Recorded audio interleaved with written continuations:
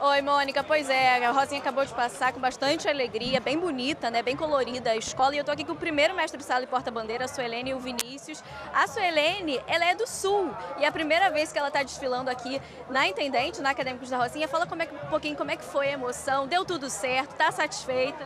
Tô, tô muito satisfeita em representar essa escola grandiosa, né? A maior favela da América Latina.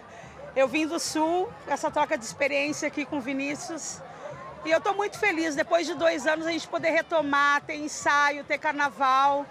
E a Rocinha veio aí representar toda a comunidade maravilhosa que é. Agora, Vinícius, Vinícius já é mais veterano, né, Vinícius? Já está acostumado um pouquinho. Está satisfeito também? É nota 10? É, se Deus quiser, vai ser nota 10, né? A gente trabalhou bastante. Esses dois anos aí, a gente, a Suelene chegou para ajudar a gente. A gente começou a ensaiar como a gente nunca tinha dançado junto. A gente está esses dois anos aí trabalhando junto e hoje foi maravilhoso. Conseguimos fazer tudo que a gente ensaiamos.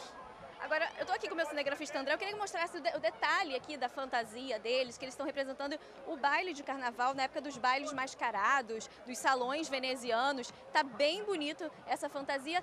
Dá uma palhinha aqui pra gente, por favor, que vocês apresentaram no desfile. Olha que beleza.